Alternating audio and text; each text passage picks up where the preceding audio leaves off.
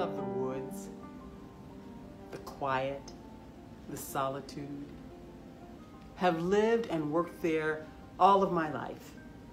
Forestry service, security, retired. Working there, living there, it's not without its challenges. There are some dangers.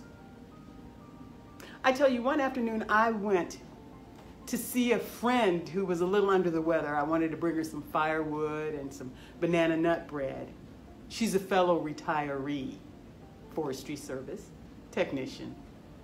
She said her granddaughter was, was coming over and she was bringing a basket of her Mama Ellen's feather-like biscuits and some, some fresh butter. Wonderful child. Her grandmother doted on her. Even made her a little cape with a hood. Now, knowing the biscuits were on the way, I made us a pot of tea and waited there with her for a while when suddenly there was a knock on the door.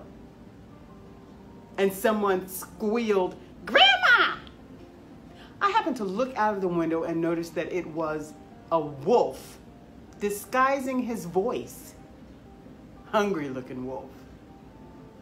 That situation could have gone south pretty quickly if we hadn't been swapping old work stories and having ourselves a cup of tea that afternoon.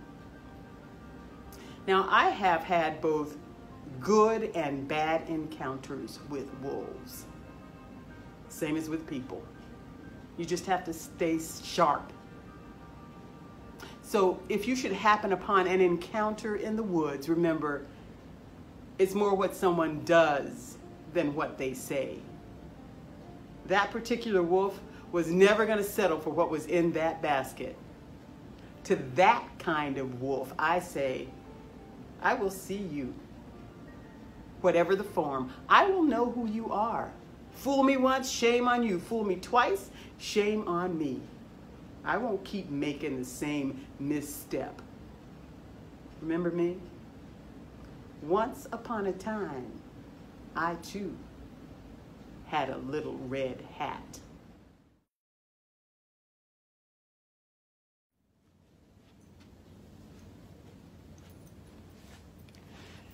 Did that story sound familiar? If you thought it was Little Red Riding Hood, you're right. It was a retelling of Little Red Riding Hood from the point of view of Leela Woods, a retired forestry service worker, the woodman in some of the versions of the stories.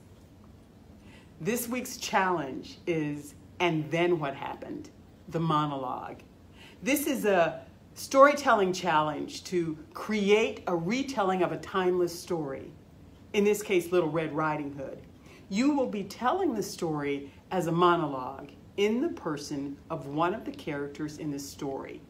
Now, a monologue is a, a passage of a play or, or a movie that's spoken by one actor or one person. Here's how this one works. Let's look at the story again.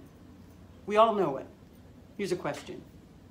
Besides the first one you heard as a child, is there any other version of this story that you know? What happens in the different tellings with the grandmother or what happens with the wolf? Usually, there is a narrator, someone outside of the story telling the story. How would the story go if one of the characters was telling it? Red, her mother, the wolf, the grandmother. Maybe someone we didn't even know was in the story.